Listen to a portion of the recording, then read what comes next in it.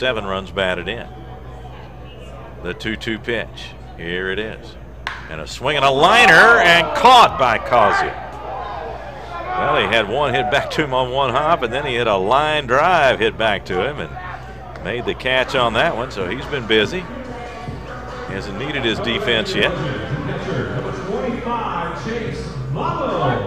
Probably just as soon they hit it somewhere else after those two, especially that last one.